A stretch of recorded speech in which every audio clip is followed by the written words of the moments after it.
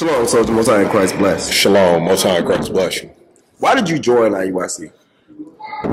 Um, I joined IUIC. Um, long story short, when I found out about the truth, um, I didn't know who IUIC was first. Um, my mother-in-law and my aunt-in-law, my ribs people, they go to another another church, uh, unnamed church. It don't matter. Um, we went there for a Sabbath, and it was pretty much like going to the Christian church. So this was once I found out I was Israel. So after we figured out it was like the Christian church, after that one week, all it took was a water baptism to find out. Um, I did a little bit more research at home because in the beginning I didn't, I never believed in the Bible. You know, um, I, I, didn't. Grow, my mother, she grew up in the church. I didn't grow up in the church. Um, so I did my research. Uh, I came across a couple of schools, but uh, none of them was teaching directly from out of the Bible. Uh, none of those schools were uh, connecting our history um, as well as our present life. They weren't connecting that in the Bible. And Israel United in Christ uh, they were and they still we still do that to this day. So that's why I chose Israel United in Christ. How long have you been congregating with IUIC? I've been congregating with IUIC for a year and a year and 10 months. So it's been almost two years now. It seems like forever. Uh, I know with my fellow brothers and sisters in Chicago, it seemed like I've been here for a long time, but it's only been a short period of time. What made you decide to look for the, the Most High? Um, not to sound cliche, uh, but like I stated before, um, it, it's crazy because two years ago, two and a half years ago, I didn't believe in the Bible at all. Um, you know, I I thought that I knew the Bible. I thought, you know, I thought that you know my mother and grandparents knew the Bible because they went to church and I saw it wasn't doing anything for them. So uh, my belief was based off of that. Um, so I, didn't search for the Most High. It actually, the Most High, um, He woke me up. You know, um, I wasn't searching for Him. It, it was just, I don't know, it just I was blessed for it to fall into my, you know, fall into my lap or fall between my ears, I guess. So um, I, I, wasn't searching for anything when it came to me. What scripture sealed the deal for you to walk in truth? Uh, the scripture that sealed the deal, I, it, it got to be the uh, Deuteronomy 28, 68.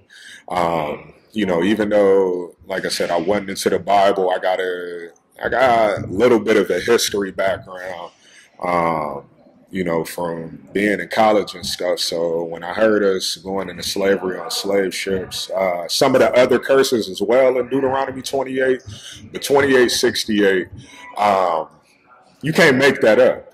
You know, you can't, you know, you can't, you can't predict that to happen and, well, not predict, but you can't prophesy for that to happen and you know, it happens, you know, thousands of years after. Uh, so Deuteronomy 28, 68, that sealed the deal. That actually made me, those are like some of the first scriptures I heard, and that made me a believer just based off of that. You know, that actually opened my eyes up and I start to open my ears up. What makes you continue to stay with IUIC? Uh, what makes me continue to stay with IUIC? Um, man, you you got to be a fool not to not to stay. I mean, it. Um, I, I look at the this organization. I look at the foundation of it. Um, from the standpoint, the foundation is the commandments, the law, statutes, and commandments. Um, just the whole setup, uh, the structure of Israel United in Christ is based off the Bible you know, so that's what makes me stay, you know, because I believe in the Bible. And truth be told, um, I've been saying plenty of other schools or heard about plenty of other schools, and their foundation ain't the Bible. Um, so that I guess I don't know if I answered the question. That's what keeps me here is because Israel United in Christ. Um, it's a place like we like we work hard to to keep the commandments, uh, learn them, make sure we keeping them. Uh, we striving for the kingdom. You know, that's what Israel United in Christ is all about. So um, that's what makes me stay here because you know I know that as a as a person, they want to see they want to see every last one of us improve as one as God children. You know, so. Quote your favorite scripture. Uh, quote my favorite scripture. I can't quote anything, but nah, my favorite uh, my favorite scripture got to be Romans thirteen eleven. Uh, I'm a butcher the hell out of it, out of it, but it's okay. Um, and it's, uh, it's it's high now. It's high time to wake up out of our sleep. I know I butchered it, but um, the reason why that's my favorite scripture is because I mean I I don't I mean before any of us came into the truth, you know we we fell into that same category. We were all asleep. Um, I know I was asleep, and every time it's a scripture that uh, Captain Ryan um, always uh, bring out when he teach on the corners. Um, I hear it a lot, and like it just it get me pumped up every time I hear that scripture because I was once in a deep sleep. I was like damn near dead on life support, and the Most High, um, the Most High worked its way to waking me up. So that um, you know that that's one that is my favorite scripture. And it also that's what motivates me too because the most high is telling us we're in a time where we got to wake up. Well he's putting that spirit into his children to go out there and wake the people up too. So um, that's my favorite scripture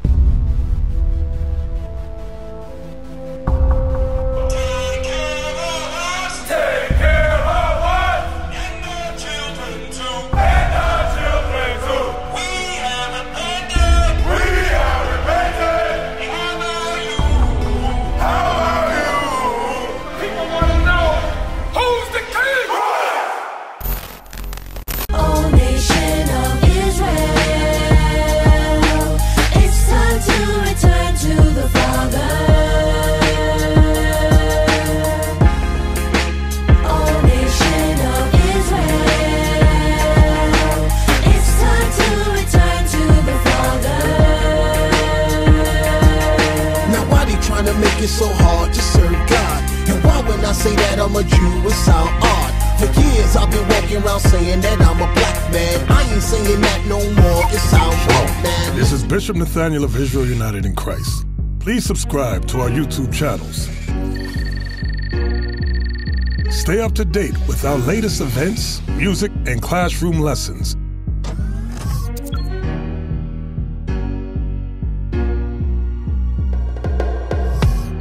IUIC plans to continue visiting different countries where this gospel has not been preached before. IUIC needs your help in pushing this truth.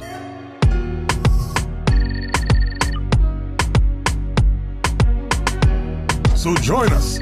Subscribe to our Instagram, Facebook, Twitter, and podcast, and stay up to date with us.